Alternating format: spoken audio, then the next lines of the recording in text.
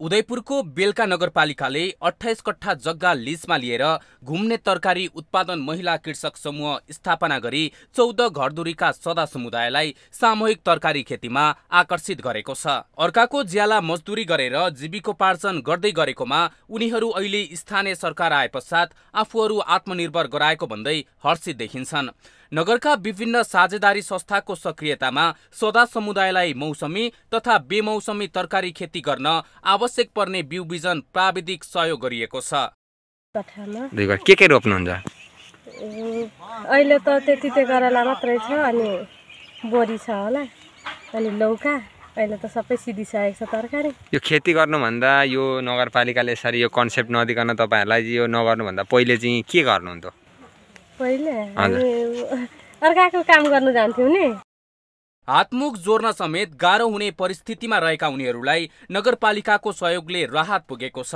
खेतीका लागि आवश्यक कृषि उपकरण र सिंचाइको व्यवस्था गरिएको वडा नम्बर पाँचका वडा अध्यक्ष गोविन्द कुमार खड्काले बताउनुभयो।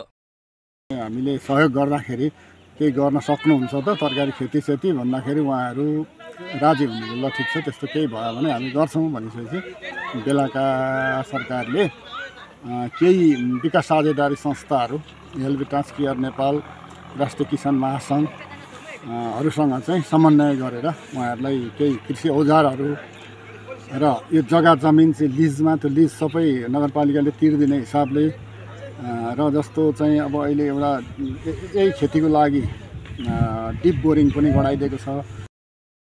अशिक्षित समुदायको रूपमा रहेको सदा बस्तीलाई आर्थिकका साथै सामाजिक रूपमा आत्मनिर्भर बनाउने लक्ष्यका साथ जीविकोपार्जनमा सहायता गरेको नगरपालिकाले जनाएको छ। उनीहरू चाहिँ के भने माटो काट्ने परम्परागत पेसा थियो त्यो चाहिँ अब सकिएर गयो। किनभने अब सबै ठाउँमा मान्छेहरूले मेसिन औजार अब ट्र्याक्टर लगाउने भएकोले उनीहरू बेरोजगार भए एउटा कुरा। दोस्रो कुरा चाहिँ के भन्दाखेरि उनीहरू चाहिँ विभिन्न प्रकारको मादक पदार्थहरू सेवन गर्ने र अलिकति रोगी हुने यस्तो खालको अवस्था आएको हुनाले उनीहरूलाई पनि दिगो कृषिमा लगाउनु पर्छ भनेर हामीले त्यहाँको सर्वे गर्दाखेरि चाहिँ अब उहाँहरूले चाहिँ नै जग्गा नभएको तर हामी केही गर्ने भनेपछि हामीले यसलाई एजुकेसनसँग जोड्यौँ। नगरपालिकाले गरेको सहयोग बापत नगरले उनीहरूका छोराछोरीलाई अनिवार्य विद्यालय पठाउनु पर्ने सम्झौता गरेको छ। विद्यार्थीहरूलाई प्रतिस्पर्धी बनाउने तथा समाजमा उनीहरूलाई सम्मानित रूपमा स्थापित गर्ने उद्देश्य लिएर नगरपालिकाले निशुल्क ट्युसनको व्यवस्था गरेको छ।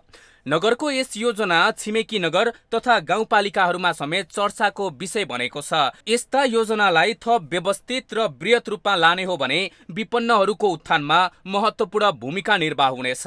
माउन्टेन टेलिभिजन एसडीका लागि उदयपुर सहकर्मी सुमन खतिवडाको रिपोर्ट।